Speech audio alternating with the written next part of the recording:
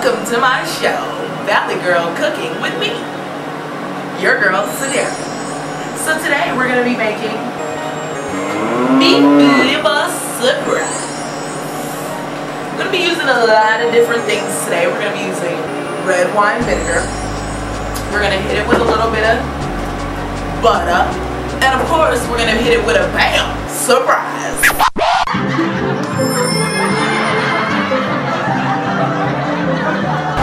So first thing we're gonna do is add our butter. Do do do do. The thing I love about butter is that butter is just so good. You can actually just like put it in your mouth and like take a bite out of crime. And when I say bite out of crime, I mean a true hunk out of crime. Matter of fact, I'll show you. And just add to your blend. Oh, to the pan So, as we let the butter melt, we're just going to do like a normal pan fry. So let's go ahead and crack open the liver. Mmm. Who does not like beef liver? I mean, come on, get out here. This is like the best stuff known man. My grandma used to always get like fried liver and like fried gizzards and hit it with like some hot sauce and like. When I say tada, it's a tada.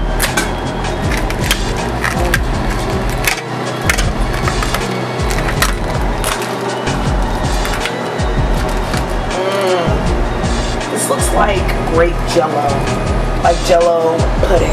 Ah. Alright. So we're just gonna add our first piece of liver, chopped liver, into our butter. And go ahead and put in another piece. This is how you know the liver is good. When it's really dark and rich like this, this is the color that you want to see. You want it to be like phalange like. Yummy. That looks so good. And we're just gonna go ahead and start frying it.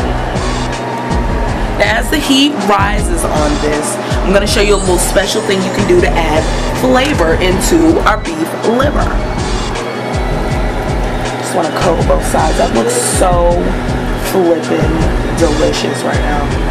This is like, oh the best thing ever.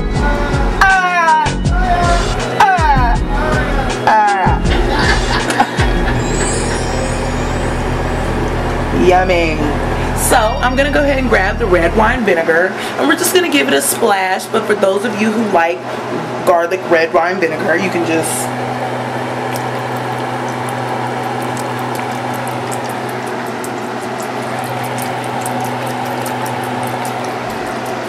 give it a good little douse. I like that word, douse. We're just gonna turn that up. Let it start bubbling. Gonna add a little bit of our special beef liver surprise. Bacon! Have you guys ever seen the bacon commercials with the dog? Bacon, bacon, bacon, bacon. It's bacon! Excuse me, I just got over the flu. so yeah, we're just gonna add that on in. Some more bacon while this just, uh, excuse me, bacon. While this bubbles up. Want to get really hot because this is gonna be really, and you know you can add SpaghettiOs with this and that would be really awesome too. Today I decided to go with something a little different, but like I said, you can kind of put in whatever you want. SpaghettiOs would actually make like a beef liver SpaghettiO soup. Okay. Mm. I guess this is like bacon O's. bacon O's. Now you see it's starting to bubble. That's exactly what you want to see. You know why that happens? It's because of the bacon. The bacon itself makes it bubble. Okay. It's probably because it only has like a little bit of like a certain amount of amino acids in it or something like that. Mmm, that's starting to smell really, really, really good. Yummy. Okay. Just let that cook a little bit. Give it a little flip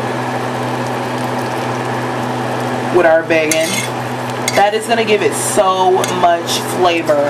And using something like turkey, turkey bacon I mean, bacon is healthy anyway, but if you're gonna go with turkey bacon, you might as well just like stop exercising right now because you're gonna lose like so much weight. Look at that. Mm. That's exactly what we want to see. Okay. So we're also gonna add some um, mushrooms into it. The mushrooms is going to also give it a lot of flavor. Mushrooms and garlic red wine vinegar like really, really, really complement each other. So we all know cooking 101. Just give it a stab. And crack it open. Let me turn this down a little bit. We don't want it to cook too fast. Oh, it smells so good in here. I know today my little trick is not working. Maybe it's because my camera is so small we do is stab it again.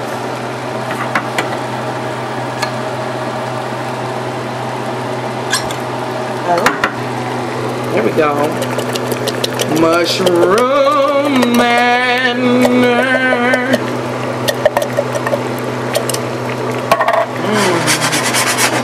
Smells good right now. It, it smells good right now.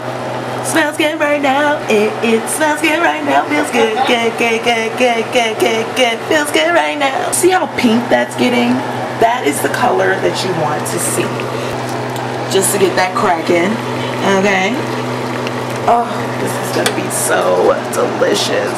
And it would be like straight banging. Kids love this dish. I'm serious. Pack it up put it in like one of your little plastic baggies or something like that put it in like a brown paper bag and send them off to school they are to tear this they are to the kids in school are to be trying to trade lunches with them like beef liver surprise dude you got to trade me right now right now it's to be like on a cracker yum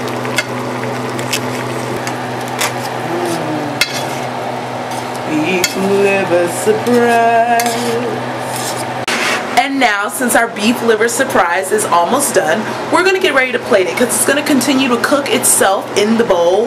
And see, when you plate it, that's when you can really put all your love into what you're you're about to give someone. Because I mean, you eat with your eyes first, right?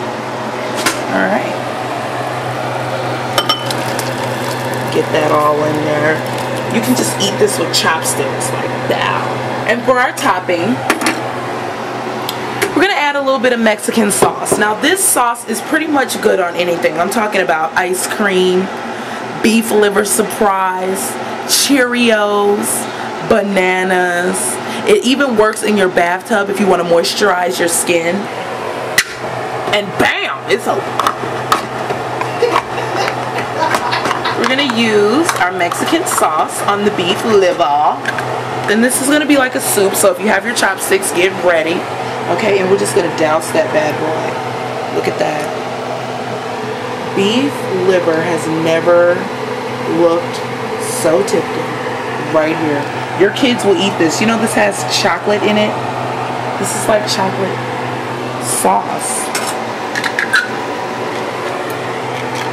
You just add on here. Kind of looks like doo-doo pudding, but it tastes really, really, really good. So we're just to add some crackers to it. I'm to show you how, you know, you would dip and eat this. And I'm to prepare a cracker for you. Okay, so you know exactly how to do that. Do you see that? That is so good.